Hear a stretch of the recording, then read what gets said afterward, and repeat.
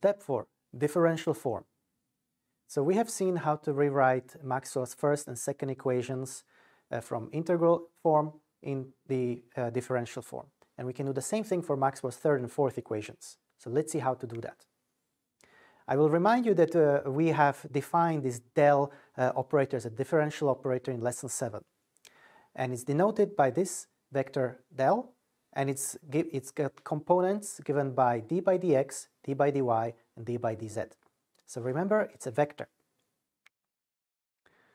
And we saw that if we just uh, apply it to a scalar function given by some uh, um, components x, y, variables x, y, and z, what we get is known as the gradient of the scalar field. And this is a multivariable generalization of the usual gradient of a, a one-dimensional function. So it tells us in which direction the function is changing, and the magnitude tells us how much it is changing. We have also seen that we can uh, uh, compute the divergence of a vector field by applying the dot product between the del operator and the vector field itself. So this led to the divergence theorem that related the uh, surface integral of a vector field to the divergence of the field inside an enclosed volume V, where it's enclosed by the surface A. So we have seen two operations. We have seen uh, multiplication by a scalar, we have seen the dot product with another vector, we are still missing the third possible product between two vectors, and that's the cross product.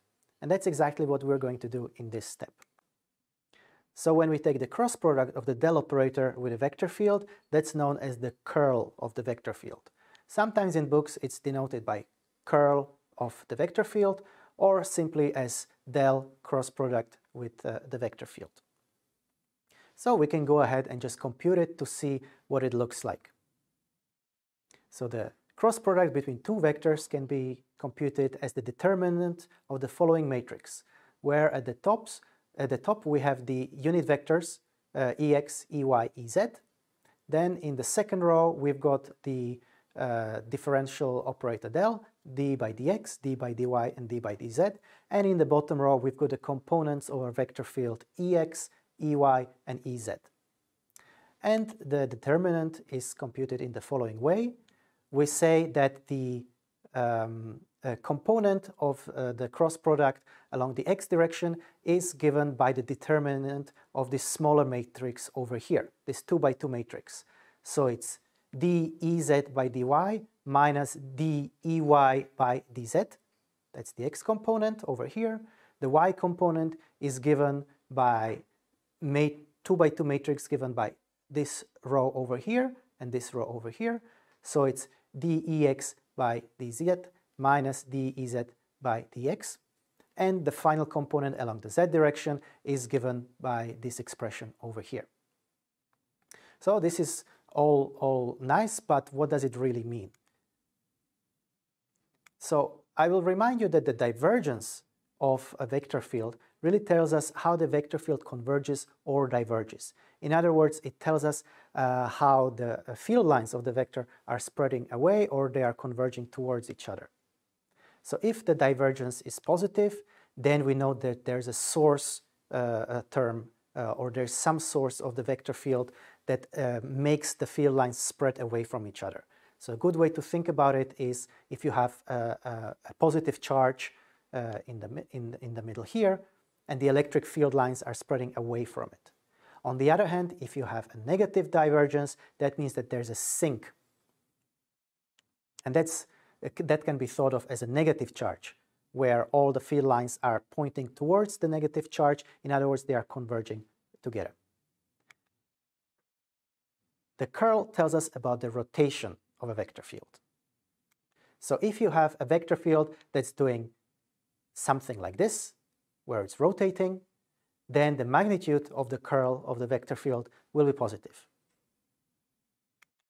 On the other hand, if you have a vector field where it doesn't have a rotating component, all the field lines are pointing along its direction, even though the field lines are kind of changing uh, in strength, the, the vector field is changing in strength, it's still not rotating, therefore its curl would be equal to zero.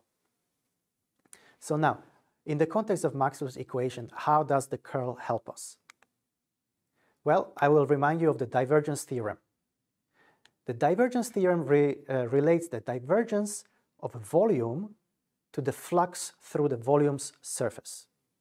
That's why we are considering all these spheres in the previous lesson and we were looking, we were asking the questions, what, what is the flux through the surface? There was either some source of an electric field or there was a sink, um, uh, in, in other words, a negative charge inside the surface. And we were relating it to the divergence of the field of the volume enclosed by the surface. What we can do is we can use the Stokes theorem that relates the curl over a surface to the line integral over a boundary of the surface. Mathematically, it can be expressed in the following way. We have the curl of a vector field over some integrated over a surface, a closed surface. Sorry, it doesn't need to be closed. But the loop over which we are integrating the uh, vector field has to be closed.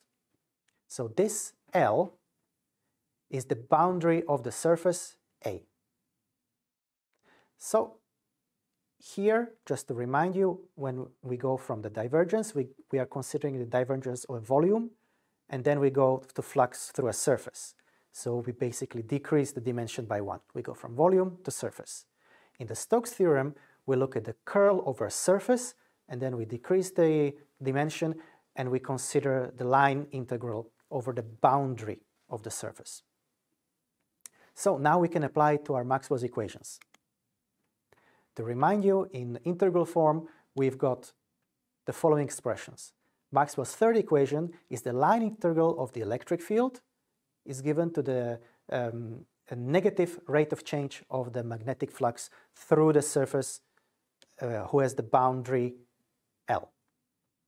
And for Maxwell's fourth equation, we do the same thing. We want to know what is the line integral over a closed uh, uh, loop of the magnetic field and that's given by the following expression. It's mu naught times the um, surface integral over the um, current density and the displacement current density, which is expressed here as the change in the, in, in the electric field.